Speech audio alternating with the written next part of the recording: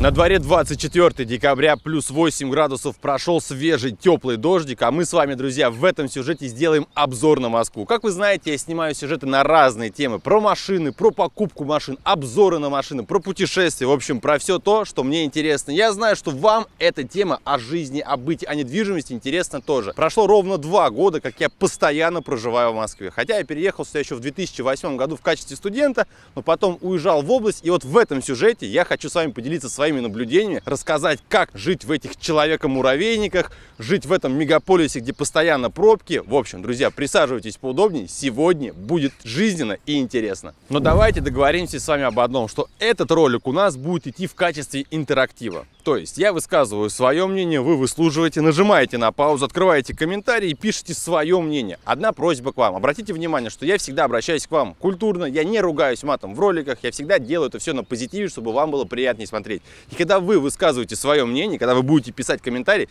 попробуйте сегодня это сделать без мата, без грубости. Ведь ваше мнение зачастую очень правильно, я с ним полностью согласен. Но высказывать его культурно, это заслуживает лайка.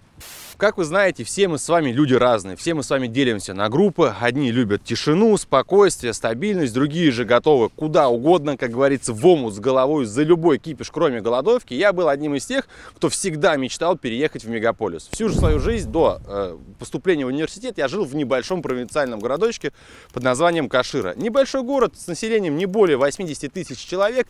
Я жил там, но постоянно, как и все, посмотрел ролики про Нью-Йорк, про Америку. Я думал, блин, вот так круто. Ведь пропаганда же, она имеет свое значение. Ты смотришь и думаешь, охота переехать в какой-то мегаполис, где будут стоять высотки. Но такой возможности, естественно, как уехать в Америку, никогда у меня не было и нету. Но вот переехать в Москву, у меня такая возможность появилась в 2008 году, когда я поступил студентом учиться в университет. И переехал я вот в этот район, который я вам сейчас показываю. Все кадры с коптера взяты из открытых источников. У меня ничего нету, я ничего не снимал, поэтому штраф 50 тысяч мне присылать не нужно. Так вот, я поступаю в 2008 году в университет, начинаю учиться. Но все пять лет пролетели, как обычно, одним днем. Закончил я университет с хорошими оценками, потом уехал обратно в Каширу к родителям, где я работал, занимался рекламным бизнесом. И вот пару лет назад я понял, что все, надоело. А почему надоело? Ну, в первую очередь, конечно же, сказался кризис. Естественно, когда речь заходит о семейном бизнесе, многие скажут, ага, все понятно, мамка с папкой дали работу, но на самом деле работать у себя, работать на своих родителей, это гораздо больше ответственности. Я работал с понедельника по пятницу, с утра до вечера. Действительно приходилось побегать. Все, кто меня знает, не дадут соврать, что я ну, действительно много трудился.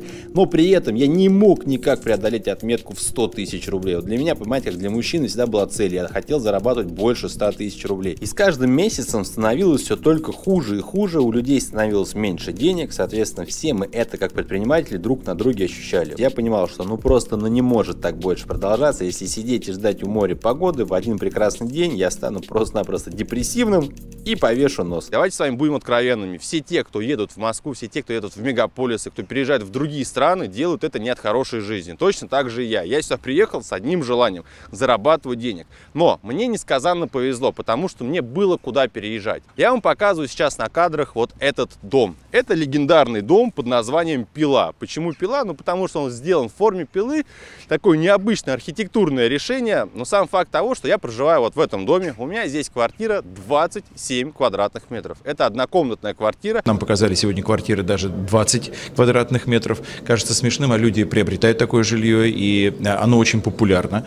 И на рынке есть специальная ниша для такого жилья. Кадры, которые вы сейчас видите на экране, и кадры не случайно. Обратите внимание, что эти кадры с Авито, а значит что? Значит квартирка продается и ссылочка ждет тебя в описании. Тем не менее, ты можешь посмотреть на те условия, в которых живу я. Я проживаю в этой квартире с женой, молодая пара, у нас пока что нет детей, но нам этой квартиры в принципе всегда хватало. Несмотря на то, что многие наши друзья, кто приезжали туда, говорили, Димон, да ты в конуре живешь, это твоя нора, ты мышь что ли белесая? Я говорю, да, друзья, смешно, на самом деле деле, с одной стороны, удобно, но это та квадратура, про которую смеялся Шувалов. Вот как раз та самая квартира. По-хорошему, это была однокомнатная квартира, которую я переделал под студию. Для того, чтобы это все сделать, я вложил 1 миллион 900 тысяч рублей. Округляем до двух, то есть это совсем с мебелью, с ремонтом, в общем, под ключ. Все, что вы видите, это все сделано под ключ. А откуда квартира, спросишь ты? Друзья, я с вами всегда был откровенен, не вижу какого-то смысла, знаете, что-то утаивать, скрывать информацию, потому что на сегодняшний день это все вот так вот по щелчку пальцев все можно найти, поднять абсолютно про любого человека. Так вот, эта квартира мне досталась от моей бабушки, от моих родителей. Бабушка жива, цела, здорова, она проживает в области, в деревне, родители проживают там же, ему, естественно, эта квартира нафиг не нужна. В свои годы они успели ее купить по очень низкой цене. Дома, которые вы видите на кадрах, это по сути типовые дома, которые можно встретить по нашей стране. То есть это не какие-то там сталинские многоэтажки с расширенными планировками. И вот давайте я вам расскажу немножко о плюсах, а попозже о минусах. Когда я переехал в Москву, что мне первым делом бросилось в глаза? Я с вами делюсь исключительно своими наблюдениями. Если со мной кто-то не согласен, вы можете высказать ваше мнение в комментариях. Они открыты. Итак, Переехав, естественно, первым делом, что бросается, это чистота. Вот кто бы что ни говорил про город, но обратите внимание, что постоянно, когда идешь по улице, всегда все чисто. Если зимой выпадает снег, какого бы масштаба он ни прошел, утром уже весь двор вычищен. Когда выпадает снег, вот вы знали вообще о том, что по регламенту, оказывается, когда выпал снег, буквально три дня дается на то, чтобы на тротуаре он остался лежать. Далее его должны очистить до полного состояния, чтобы было видно плитку. Я этого не знал, но узнал это, проживая именно в Москве, потому потому что постоянно все долбят. Я спрашивал, зачем вы долбите? Ведь чистенько, свежо, аккуратно, так положено по регламенту. То есть действительно оперативно работают коммунальные службы. И я ни в коем случае не пытаюсь кого-то нахваливать, подчеркиваю, это исключительно мои наблюдения. В летнее время постоянно все моют, метут. То есть иной раз даже бывает утром в субботу спишь, и вот слышишь, как эта машина проезжает во дворе, который моет асфальт, и думаешь, блин, да надоели вы уже. Уровень и качество обслуживания ЖКХ, я это действительно ощущаю на себе. Вот все мы с вами смотрим новости в YouTube, и мы с вами видим, что люди показывают, есть города по России очень много, где люди жалуются о том, что там по 10 лет в домах нету воды, что протекает крыша, власти с этим ничего абсолютно не делают. Здесь же у меня простая ситуация во дворе. Э, лавочки стоят, люди пожаловались о том, что не хватает освещения. Две недели свет стоит. То есть развитие, оно постоянно какое-то да идет. То есть все, что происходит в подъездах, постоянно что-то чистят, моют, убирают. Даже лет 10 назад начали устанавливать в каждом подъезде сервис консьерж. Первый этаж переоборудовали для того, чтобы был консьерж. Изначально я думал, зачем это нужно, но в дальнейшем я увидел, что действительно это работает. Кто-то приходит в подъезд, они спрашивают, кто, чего, куда, откуда. То есть действительно ты хотя бы ощущаешь себя в том же самом старом доме, но что это какой-то уровень, что развитие, прогресс идет. Такого же увидеть в провинции, ну, напишите вы в комментарии, может ли быть это там. Действительно развитая инфраструктура. Если в области проживает, ты иной раз, возвращаясь домой, думаешь, так, блин, надо бы успеть в магазин, а то все закроется, и потом ближайший вообще в соседнем городе, либо еще что-то, искать какой-то ночной магазин небольшой, то здесь же ты всегда знаешь то, что город живет 24 на 7. Действительно, в любое время суток ты можешь приехать в торговый центр, ты можешь приехать в продуктовый продуктовый магазин, сходить в кинотеатр. В общем, действительно, если вы зайдете в интернет и забьете «Москва ночью», любую услугу, которую вы хотели бы получить, вплоть там до похода к врачу, вообще по абсолютно по, любой, по любому вопросу, это можно сделать. И это действительно классно, то, что ты понимаешь, то, что ты находишься в цивилизации. Все освещено, то есть ты идешь и чувствуешь какую-то динамику, понимаете? Вот все те, кто приезжают в город, попробуйте пройтись по центру, пройдитесь по окраинам, вот везде вот чувствуется свое настроение. Тук-тук, кто там? И мы с вами перемещаемся в мою загородную комнату. Друзья, я, как и любой человек, конечно же, тружусь, зарабатываю постепенно, вью себе маленькое гнездышко. И здесь я вам хочу показать свою кровать, а в частности матрас. Вот именно он влияет очень сильно на ваш сон. В моем случае это матрас размером 2 на 2 метра. Я его делал на заказ. Знаешь, в чем он приехал? Он приехал вот в такой коробочке от компании Blue Sleep. Размеры этой коробки 45, 45 и по высоте метр тринадцать. Но при этом сюда поместился вот этот матрас. Вот просто на секундочку подумай, возможно ли такое и как это возможно. Сейчас матрас полностью готов ко сну, я на нем уже пару ночей провел, высота его 20 сантиметров, при этом объем матраса в разобранном состоянии 1 куб, а коробка, в которой он приезжает, 0,23 куба. Как это все происходит, спросишь ты, а я тебе отвечу, изначально матрас он приходит в вакууме, то есть высота его примерно там ну 3-5 сантиметров, а вот здесь очень важно, внимательно послушайте, когда вы его получаете, привозите все домой, вот приносите его в ту комнату, где стоит та ваша кровать, и только после этого начинаете распаковку, потому что достав из коробки матрас для того, чтобы просто посмотреть, вы если случайно надрежете одну бирочку, он у вас начнет надуваться, то есть туда начинает поступать воздух, и тем самым в течение двух-трех часов матрас поднимается вот до такого состояния. Все, он готов к полному применению. Комплектация на самом деле довольно-таки простая, и здесь идет все самое необходимое. Ну, в первую очередь вы получаете две брошюры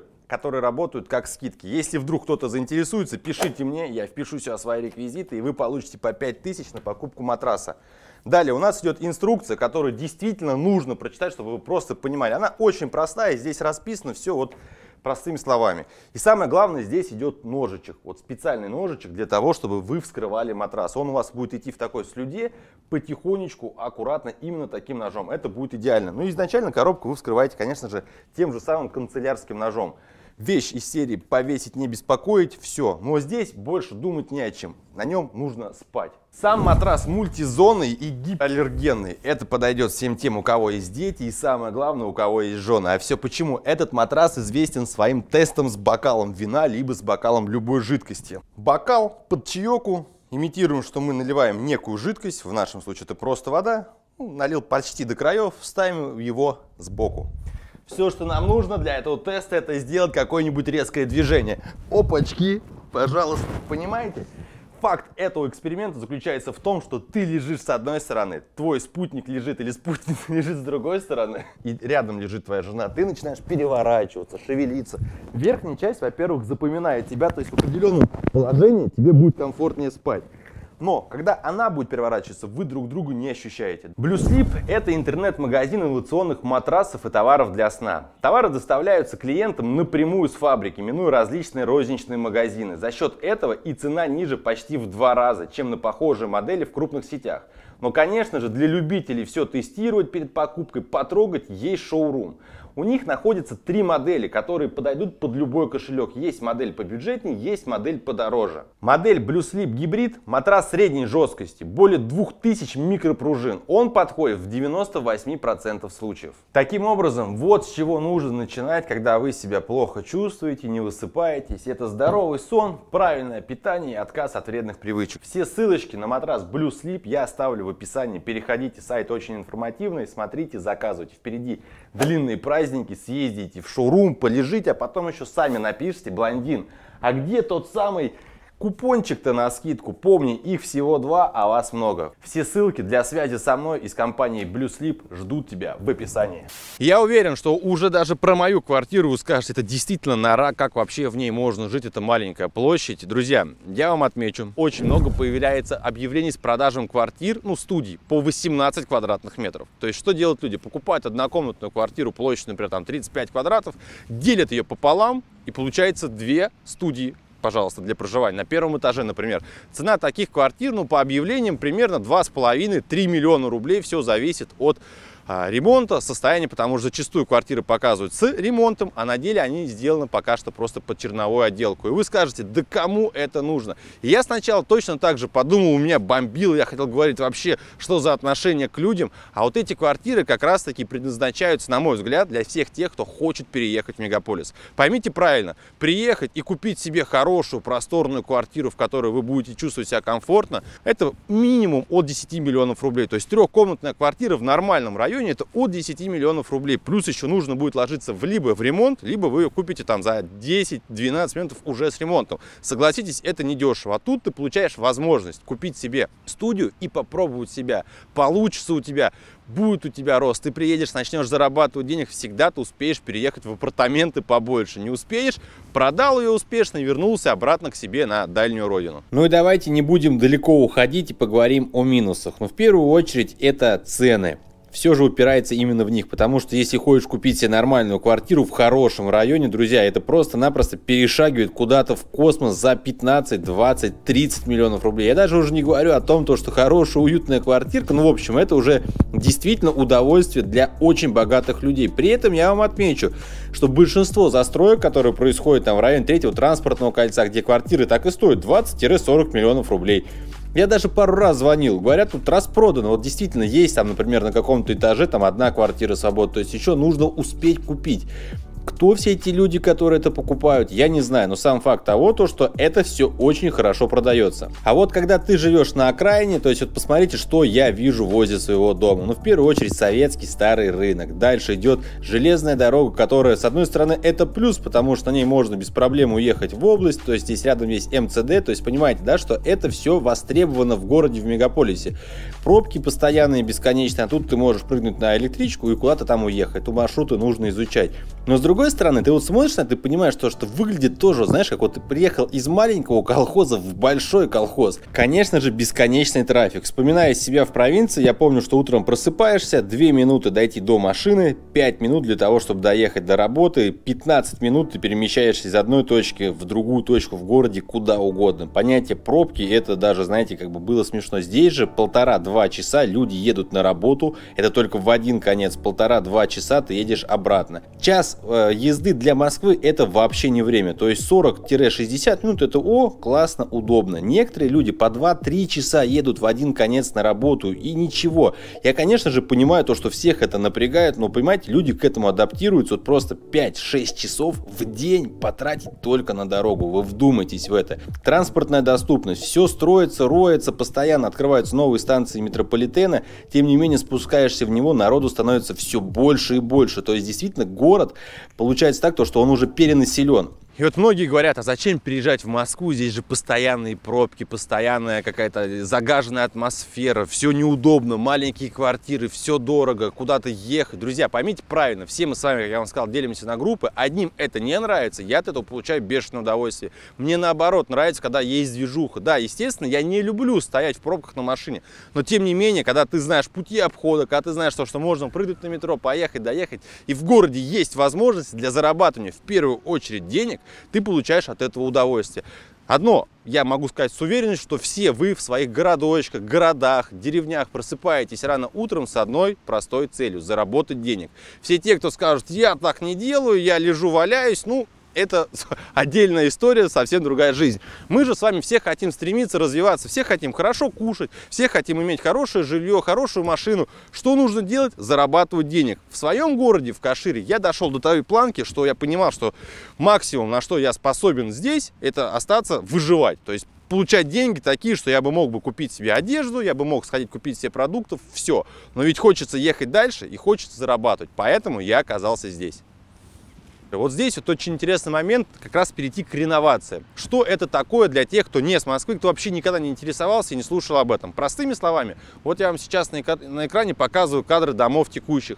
Старые советские постройки, серые, некрасивые, хмурые дома. Вообще в целом даже смотришь и думаешь, да какая-то Москва. Все время казалось, что Москва это нечто красивое, потому что сразу вспоминается в голове, что Красная площадь, ЦУМ, красивые огоньки, старая архитектура такая богатая и в тот же момент опять же красивая. А на окраине пока что этого нету. Сейчас хотят делать следующее. Все различные пятиэтажки, девятиэтажки, если я не ошибаюсь, хотят сносить и переделывать райончики под более развитые, такие красивые, солидные новостройки. То есть к ним будет относиться прилегающая территория. В общем, все это будет строиться, все это будет выглядеть красиво.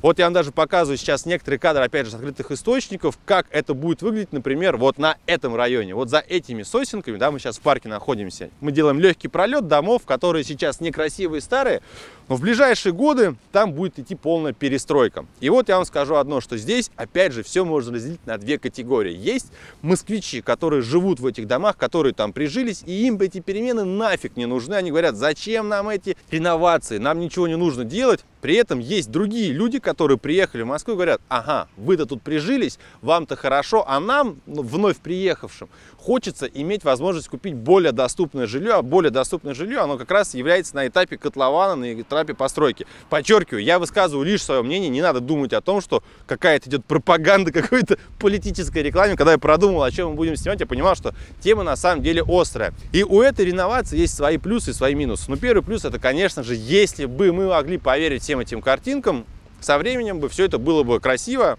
симпатично, и интереснее гораздо выглядело, нежели чем сейчас.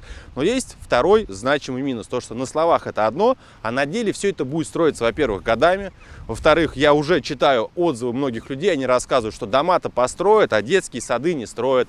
Парковочные места тоже будут ограничены, соответственно, для машин мест будет все меньше и меньше. Но вот здесь возникает палка о двух концах, которая мне очень нравится. Зачастую, когда мы смотрим ролики Ильи Варламова, либо иных блогеров, которые рассказывают про подобные сюжеты, всегда можно встретить одно и то же слово. Человека-муравейник, человейники.